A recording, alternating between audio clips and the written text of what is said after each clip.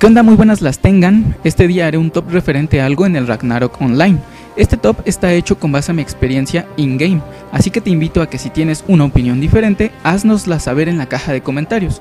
Tu opinión es valiosa e importante, siempre y cuando sea con respeto a las demás opiniones. Con esto dicho, tráete unas papas, échate un chesco y disfruta de... Las seis mejores background music o música de fondo para los de escuela pública. Posición número 6. ¿Qué jugador no reconoce esta canción desde la primera tonada? Esta canción es a mi parecer de las más geniales que tiene el Rose. Sí, sí, sí, claro que sí, como hijos. No, yo digo que sí.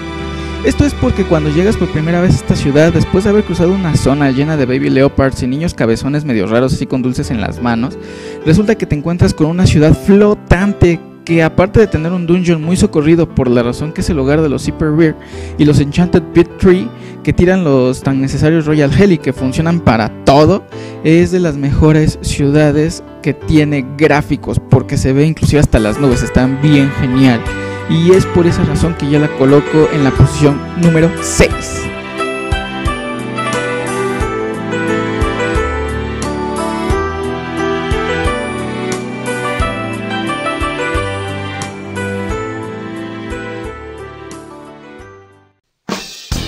Posición número 5.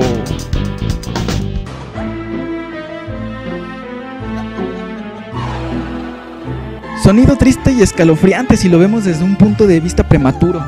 Esta canción le pertenece a la mítica ciudad Dungeon de Niflheim.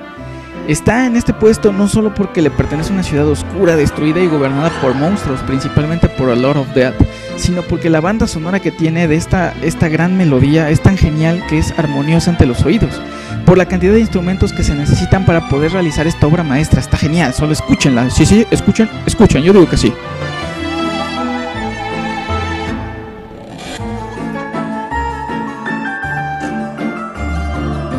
Es por la banda sonora lo que lo convierte en la quinta posición de este top.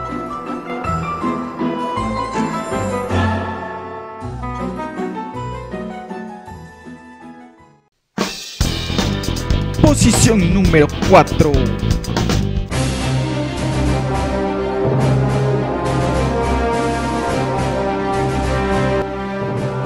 Santo Claus, ¿cómo no recordar esta rola llena de gloria y sangre, más sangre que gloria?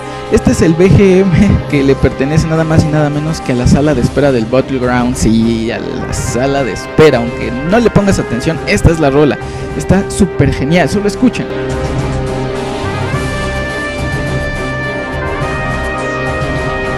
Lugar donde te llenaste en todo momento del reconocimiento por parte de los jugadores, demostrando tus habilidades como luchador individual y como miembro del team en el que te haya tocado, ya sea Flavius o Tierra o lo que hayas jugado. Cuando implementaron el BG en el Ragnarok hace ya algunos ayeres, ya tiene muchos años, fue la sensación, no solo porque el cambio de dinámica del juego fue totalmente distinta, sino que también por las nuevas rolas que traía esto. La música de sala de espera del Battlegrounds o del BG como le quieras llamar es sin duda la número 4 de mi top.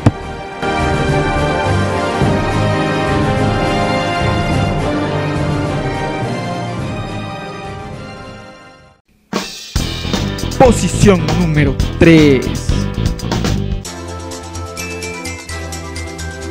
Ya es momento de ponerse totalmente nostálgico y cómo no acordarse de cuando recién iniciabas en el rock el primer mapa donde entraba, sí, así es, era el Training Room, no como ahora que aparece en Islud y en cualquier ciudad así random.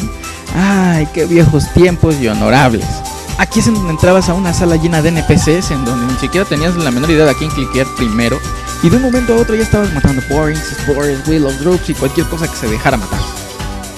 Este BG lo pongo en la tercera posición porque fue la primera rola que escuchamos cuando jugamos el Raw. Así es, fue la primera. Pero tú no sabes nada. Eres un retrasado. Esto no es el 2004. Las cosas ya cambiaron y no, no, no, tú no sabes. ¡Cállate, poser!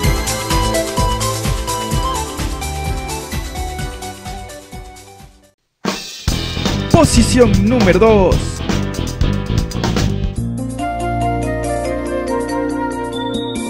Wanna Be Free es el nombre de esta super ultra mega hiper rola, no necesita otra presentación. Señores, esta es la canción de Goe para todos los castillos. Ya sea la 1.0 o la 2.0, todos alguna vez la hemos oído y todos hemos ido alguna vez a una War of Imperium. Y la rola se reconoce en el primer gong. Pero Ragnarol, a mí no me gustan las goes. Tú no sabes nada. Ahora ya no va nadie. Cállate, puse, ya te dije que te calles. Las estrategias hace mucho tiempo no eran tan elaboradas como hoy en día. El objeto en ese entonces era simplemente romper el Imperium a como diera lugar y tener la gloria de ver el fondo amarillo que en la parte superior de la pantalla decía que tu guild había conquistado X castillo. Eso era lo más genial de esos momentos.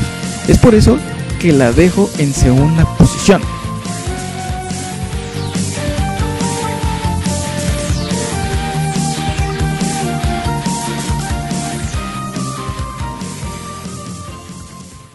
Es momento de algunas menciones honoríficas que si no estuvieron en el top también son demasiado buenas como para dejarlas afuera.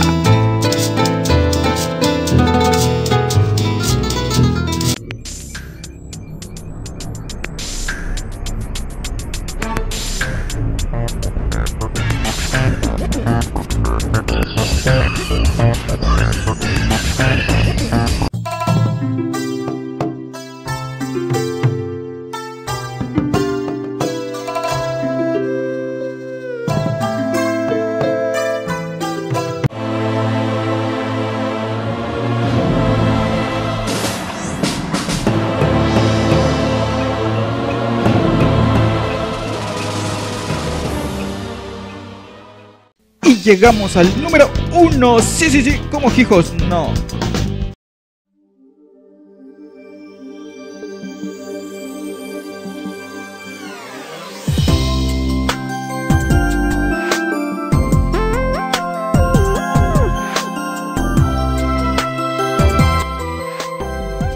Este puesto sin duda alguna se veía venir. La ciudad de Frontera fue la primer ciudad donde me instalé como centro de guardado en Cafra y probablemente también fue el tuyo. Ciudad principal de casi todos los servidores y la ciudad que te llena de tanta nostalgia como ninguna otra.